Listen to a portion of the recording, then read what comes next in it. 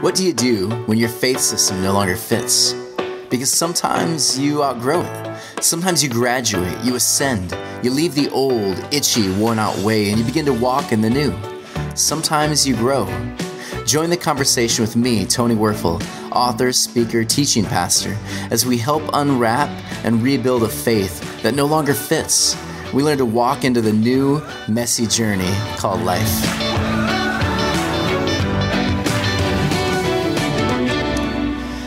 Hello, everyone. Welcome to podcast number eight of Faith Undone, where we uh, we're learning to see faith a little differently. We're redefining it. We're learning to deconstruct and reconstruct a system that doesn't demonize history, philosophy, the arts, and the sciences, but actually learns to embrace them, finding new and bigger meaning in the story told.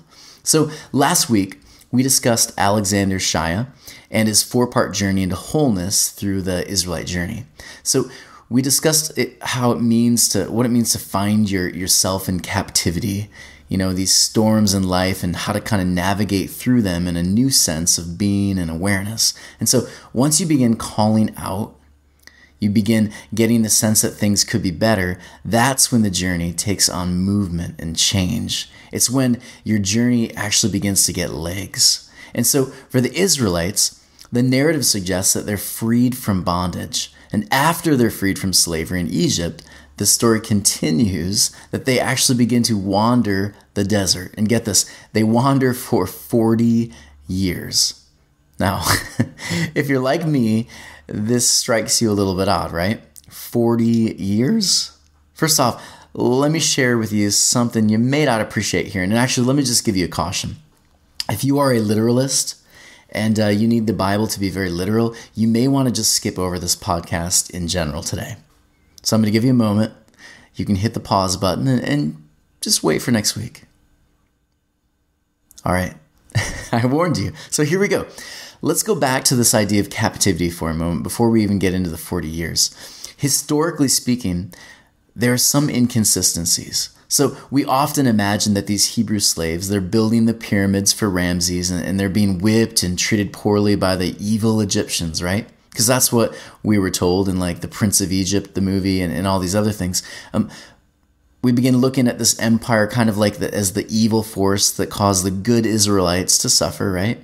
And, and again, we kind of align ourselves with like Charles, uh, Charlton Heston, head of the NRA, as he, he commands that Pharaoh let his people go. But let me throw a wrench into the story for just a moment. I found this out in 1977. Israel's prime minister visited Egypt's National Museum in Cairo. And what happened there I find really fascinating. He stated, We built the pyramids. And here's the thing to the surprise of both the Jews and the Christians, this actually sparked outrage there in Egypt for the Egyptian people. Because get this, they were proud that they had built the pyramids. See, the belief that Jews built the pyramids may be prominent for like Christians and Jewish tradition, but that's not the way anyone in Egypt remembers things. How we remember things is kind of important. And and and what of history? So, let's consider the pyramids for a moment. Most of Israel's large pyramids, they were built around like a, a 900 year period and, and historians will will often try to say it's around 2650 BC to maybe 1750 BC. And we also know quite a lot about the labor force that built the pyramids. And the best estimates I've seen so far are that 10,000 men spent 30 years building the Great Pyramid. And get this, again, so interesting when you begin to dig into the history. They lived, these workers, they actually lived in really good housing at the foot of the pyramid. They've excavated this stuff, they've seen it. And, and when they died, these people actually received honored burials in stone tombs near the pyramids in thanks for their contribution. And watch this, there's even more. They ate well and received the best medical care. And lastly, here's the thing they were paid well. So, virtually every fact about the workers that archaeology has shown us rules out the use of slave labor on the pyramids. Interesting, right? So, when historians have looked for real evidence for the Hebrews living during the times of these pyramids, they've actually found little to none.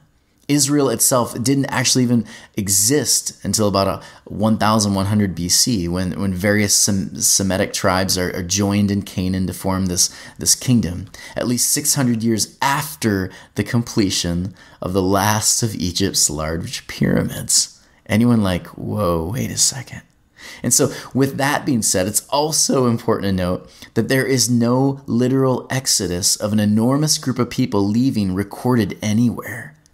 No documentary or archaeological evidence links any of the pharaohs um, bearing the name Ramses with plagues or Jewish slaves or edicts to kill babies. In fact, the earliest, Ramses I, he wasn't even born until more than a thousand years, a thousand years after the Great Pyramids were completed.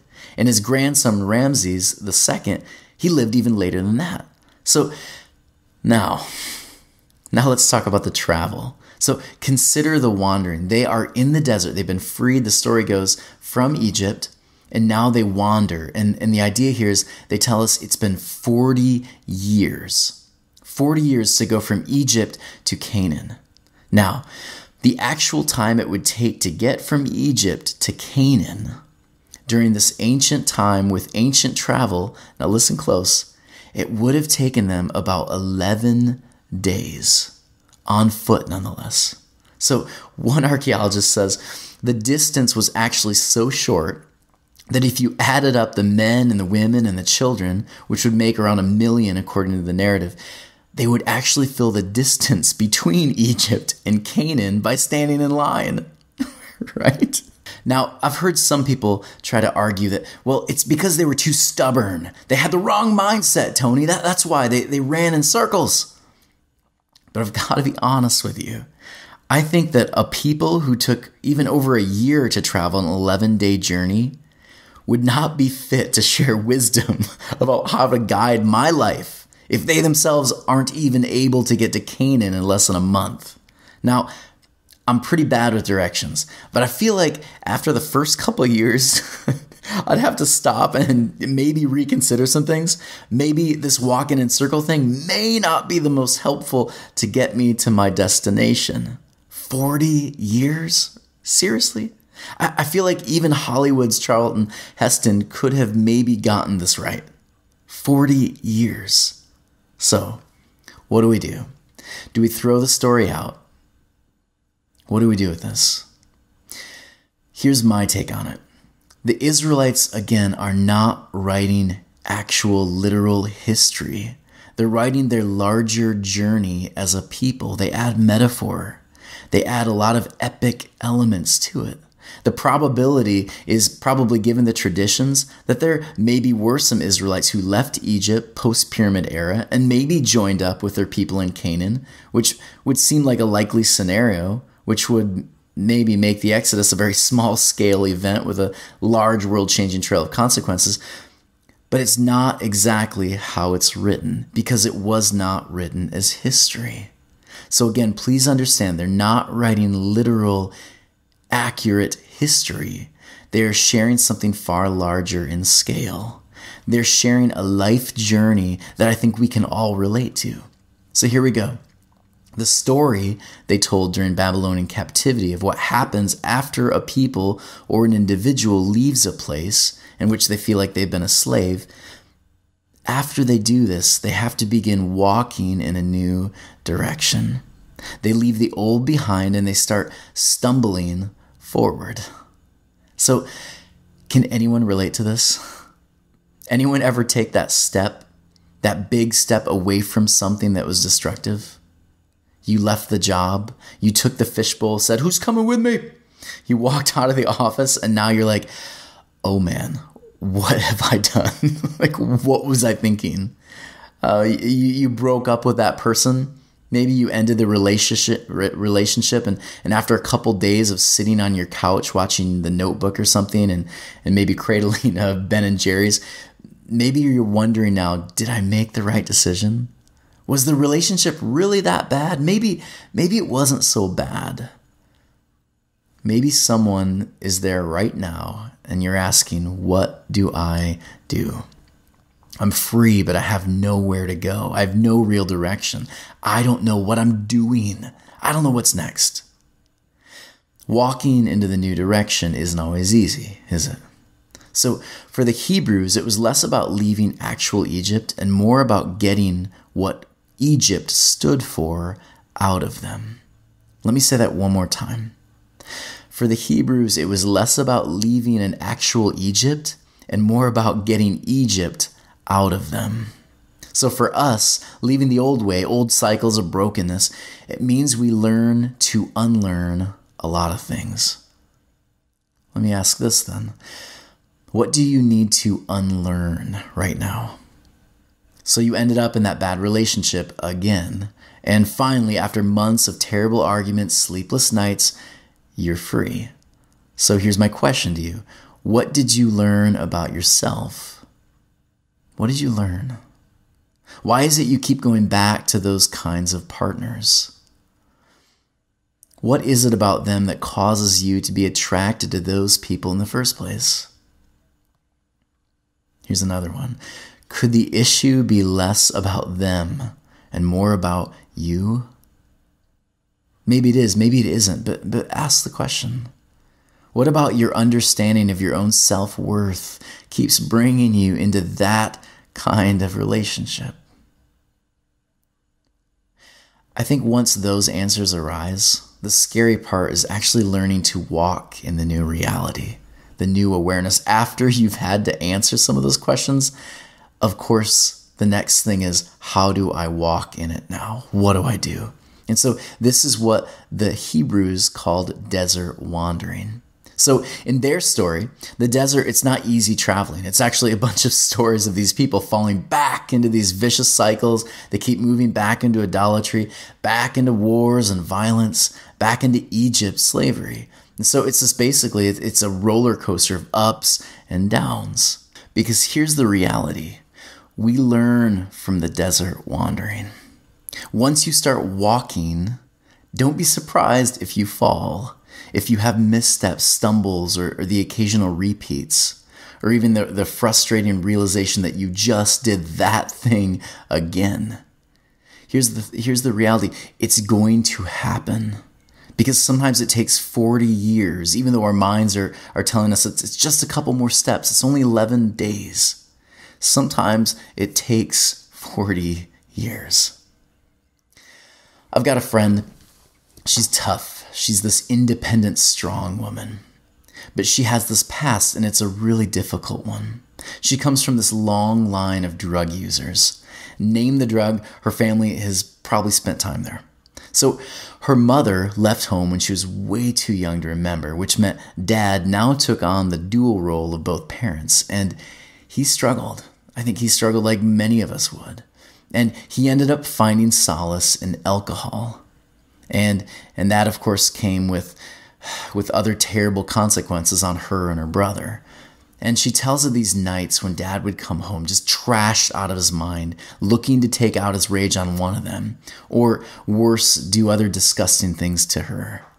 And so she told me her brother would run to her room. He would tell her lock your door and then he would walk downstairs and he would receive the beating that dad had. He would put himself in front of her and take on the beating of dad. He would take these beatings, sometimes so bad he couldn't go to school the next day. For, for someone might, might send child services and he and his sister would never see each other again. He took dad's rage for years until he was old enough to leave the house. And by this time, the entire family was using something to numb the pain. And so, brother was now introduced to drugs of all shapes and sizes, of course, with a promise of relief. And, and she followed in dad's footsteps and found alcohol. And so, her story is pretty sad, pretty horrific. And she's been through just so much, more than I even care to share. But here's the thing when she was low enough, she she was put in AA after a pretty scary drunk driving accident that probably should have landed her in jail. And there she started to reevaluate her life. And she told me it was not easy. Life didn't turn around when she walked through the doors and into conversations of, you know, my name is and I'm an alcoholic. It didn't turn around right away. because new life is found in the stumbles. The phone calls to her sponsor and, and, and the tiny successes, which, which were followed by these really bitter disappointments. But she gave me this advice, and I think it's so powerful. She, she gave me this advice after being sober for eight years. She said, I had to learn to show myself grace. I had to learn to celebrate the small successes and understand it's a long journey into wholeness. I think that's it. It's a long journey, 40 miles through the desert. It's learning new habits that'll help mold you into a person that makes better decisions. It's it's unlearning vicious lies you've told yourself, unlearning certain cycles you've found yourself in. It's doing a lot of learning and unlearning. Getting Egypt out of you takes time. And my hope for you during your times of wandering is that you might learn to show yourself grace too. Remind yourself it's a journey of a thousand tiny falls, a thousand minute decisions and victories that will eventually lead you into new life, into Canaan. And when you fall, because you're going to, don't beat yourself up. Choose to show yourself some grace. And by the way, stop comparing yourself to others. It's not their journey. They have their own issues, their own mess. And if you dug deep enough, you'd find their life isn't perfect either. This desert wandering is, is one we're all on from time to time. And so focus on your life because you're uniquely you. And after the desert wandering, you'll have a story to share and a new life to offer the world. I hope that during the time of wandering, you'll show yourself some grace. Blessings this week, and I hope you'll join me next week for what comes after the wandering. See you then. Bye.